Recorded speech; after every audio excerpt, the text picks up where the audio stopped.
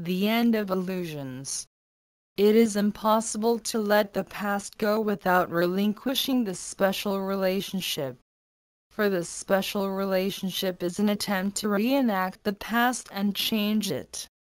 Imagine slights, remembered pain, past disappointments, perceived injustices and deprivations, all enter into the special relationship, which becomes a way in which you seek to restore your wounded self-esteem.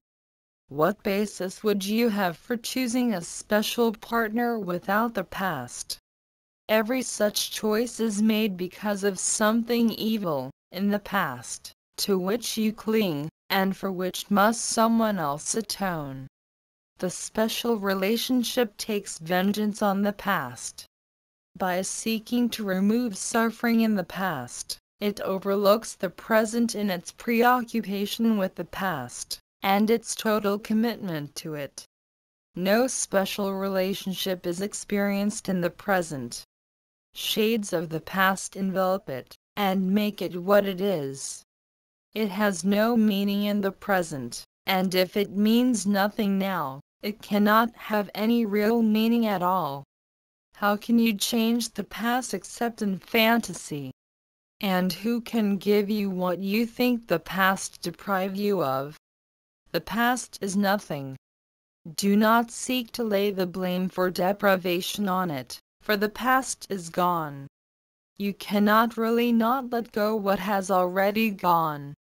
It must be, therefore, that you are maintaining the illusion that it has not gone, because you think it serves some purpose that you want fulfilled. And it must also be that this purpose could not be fulfilled in the present, but only in the past. Do not underestimate the intensity of the ego's drive for vengeance on the past. It is completely savage and completely insane. For the ego remembers everything you have done that has offended it, and seeks retribution of you the fantasies it brings to its chosen relationships in which to act out its hate are fantasies of your destruction. For the ego holds the past against you, and in your escape from the past, it sees itself deprived of the vengeance it believes you so justly merit. Yet without your alliance in your own destruction, the ego could not hold you to the past. In the special relationship you are allowing your destruction to be. That this is insane is obvious. But what is less obvious is that the present is useless to you while you pursue the ego's goal as its ally. The past is gone. Seek not to preserve it in the special relationship that binds you to it, and would teach you salvation is past and so you must return to the past to find salvation. There is no fantasy that does not contain the dream of retribution for the past. Would you act out the dream, or let it go? In the special relationship it does not seem to be an acting out of vengeance that you seek. And even when the hatred and the savagery break briefly through, the illusion of love is not profoundly shaken. Yet the one thing the ego never allows to reach awareness is that the special relationship is the acting out of vengeance on yourself. Yet what else could it be? In seeking the special relationship, you look not for glory in yourself.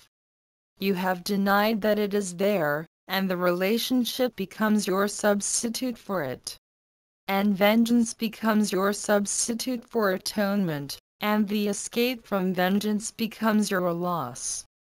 Against the ego's insane notion of salvation, the Holy Spirit gently lays the holy instant.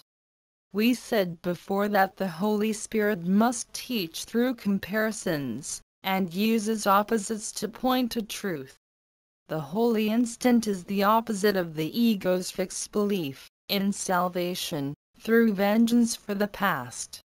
In the holy instant it is understood that the past is gone, and with its passing the drive for vengeance has been uprooted and has disappeared.